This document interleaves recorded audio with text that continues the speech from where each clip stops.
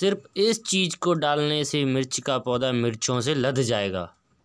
ये क्या चीज़ है और इसे कैसे उपयोग करना है?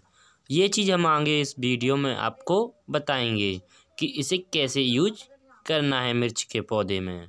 तो स्वागत है आप सभी का हमारे इस M S garden YouTube channel पर। दोस्तों, मैं हूँ आपका दोस्त मनवीर सिंह। आज मैं आपके सामने एक और ऐसी वीडियो लेके आया हूँ जिसमें हम आपको बताएँगे मिर्च के पौधे की केयर टिप्स के बारे में। तो चलिए दोस्तों, अब वीडियो को शुरू करते हैं।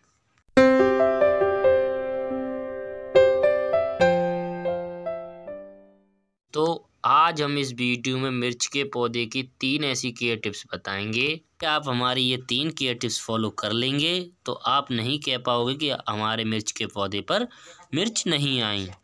तो हमारी ये तीन केयर टिप्स जानने के लिए हमारी इस वीडियो को पूरा ज़रूर देखें ताकि आप जान सको मिर्च के पौधे की केयर टिप्स हमारी पहली केयर टिप्स ये है कि हम जो मिर्च के पौधे में भोजन देते हैं, यानी कि फर्टिलाइज़र तो वो पहले तो पौधे की जड़ों तक अच्छे से पहुँचना चाहिए।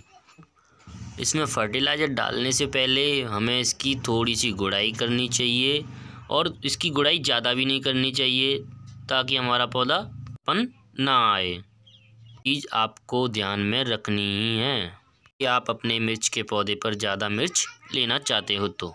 तो ये पहली टिप्स मैंने आप लोगों को बता दी है। जी की ये टिप्स जान लीजिए।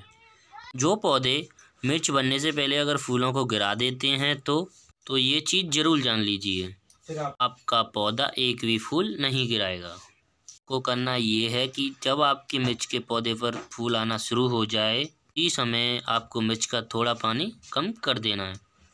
हम ज़्यादा पानी डालेंगे तो मिर्च का पौधा अपने सभी फूलों को नीचे गिरा देगा। तो इसलिए ध्यान रखें इन छोटी बातों को। और हमें इसमें मधुमक्खी के शहद का स्प्रे कर देना है। इससे मिर्ची का पौधा एक भी फूल नहीं गिराता है। और फिर मिर्ची का पौधा भरपूर मिर्च देता है। तो दोस्तों, हमारी ये दो केयर टिप्स कंप्लीट हो गई। केयर टिप्स में आपको बताने से पहले इस पौधे की एक बार मैं गुड़ाई ज़रूर करूँगा। तो गुड़ाई आपको ज़्यादा गहरी नहीं करनी है। मैंने इसकी गुड़ाई करके तैयार कर दिया है मिर्च का पौधा। तो अब आइए, अब जान लेते हैं तीसरी केयर टिप्स के बारे में। तीसरी केयर टिप्स ये है जो हम फर्टिलाइज़र बना रहे हैं। तीसरे मिर्च का पौधा ज़्यादा मिर्च देगा। तो दोस्तों, आप जो ये मेरे हाथ में, आप देख रहे हैं सामने, ये मेरे हाथ में सल्फ़र लिया हुआ है। सल्फ़र की मात्रा सिर्फ़ एक ग्राम है। फर्टिलाइज़र बना के तैयार कर लेंगे। ये ये इस तरीके से घुल जाता है। अब हम आपको दूसरी चीज़ भी बता देते हैं।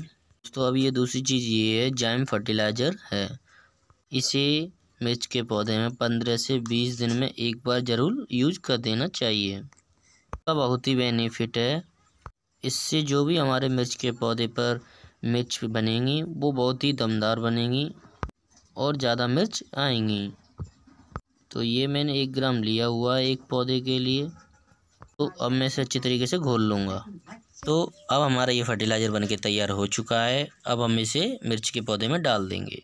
तो देखिए दोस्तों, हमने अपना फर्टिलाइज़र मिर्च के पौधे में डाल दिया है। दोस्तों हमारी वीडियो आपको अच्छी लगी हो तो लाइक करें, शेयर करें और चैनल पर पहली बार आएँ तो सब्सक्राइब करें। तो दोस्तों, अगली वीडियो में फिर मिलेंगे किसी नई वीडियो के साथ। आपका दोस्त मनवीर सिंह, धन्यवाद।